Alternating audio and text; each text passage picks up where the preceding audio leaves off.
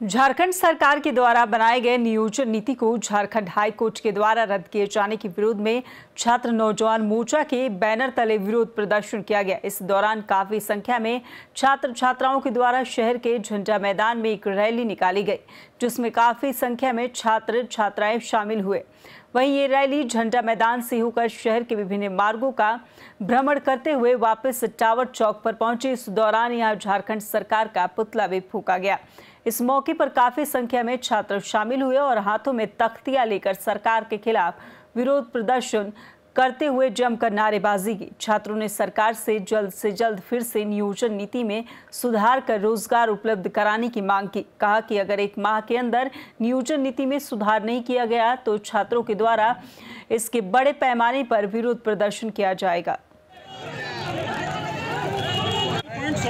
आज हम लोग झारखंड में छात्र आंदोलन का शुभारंभ झंडा मैदान से किए जिसमें से मुख्य हम लोग का ये मुद्दा था कि जो नियुक्ति है जो हेमंत सरकार लाई है अरे एक महीने पहले जो खत्म कर दिया है पंद्रह बीस दिन पहले हाई कोर्ट ने उस जेपीएससी जो दिया वो भी सख्त दायरे में है विवादित है। तो हम चाहते हैं सरकार से हम यही निवेदन करना चाहते हैं कि जल्द से जल्द आप नियुक्ति नियमावली लाएँ और तुरंत धरातल पे लाएँ। और मांग करते हैं कि आप जल्द से जल्द पंद्रह दिन के अंदर नियोजन नीति को फिर से लागू कीजिए, फिर से सही से बना के लागू कीजिए।